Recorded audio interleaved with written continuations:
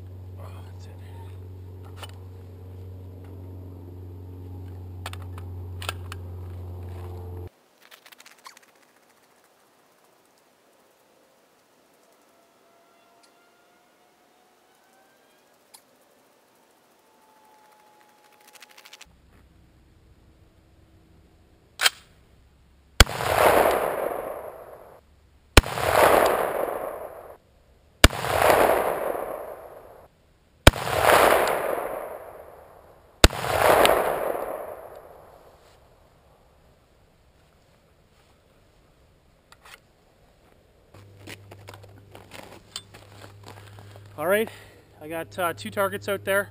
One at uh, 36 yards, one at 46 yards. Right out of the box, this thing is uh, hitting paper. So uh, I'm pretty pretty happy I didn't have to bore sight it or anything, and uh, I think I'm about ready to move it out to 100 yards.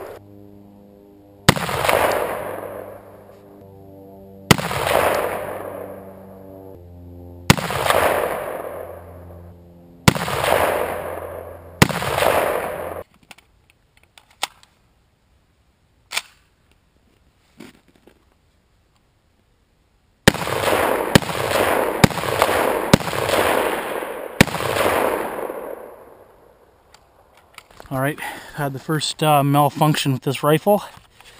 It looks as though the screw on the bottom there is a little bit twisted.